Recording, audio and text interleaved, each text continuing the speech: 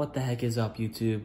Welcome back to Yarn Boi Gaming. We've got some uh, pretty normal looking bread right here. It's actually got pretty big mold spots on it.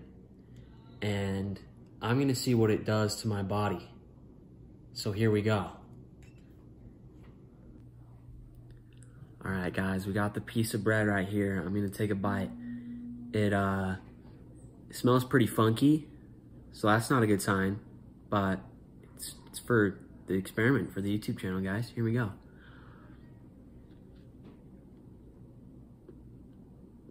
All right, already my body is telling me there's something off with this bread. I want to spit it out, but I'm not gonna spit it out. It's like really salty, but kind of kind of sweet. It's a horrible taste. Oh, that tastes awful.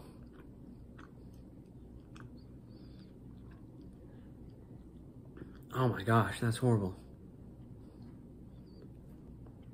All right, guys, I've only taken one bite and already like my stomach is really hurting.